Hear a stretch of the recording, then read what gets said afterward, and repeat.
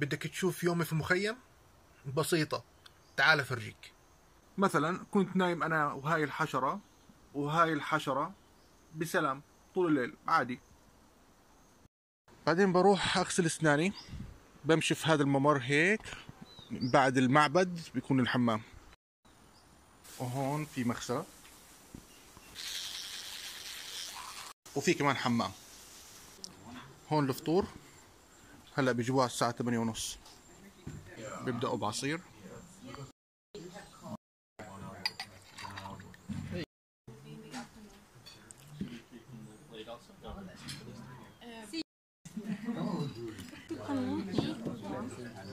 وهذا الفطور هلا. هلا حروح اتحمم واغسل اواعية هون بناخذ الشاور. في مي سخنة ومي باردة. والغسيل هون بصير. تحممت. احكي لي نعيما.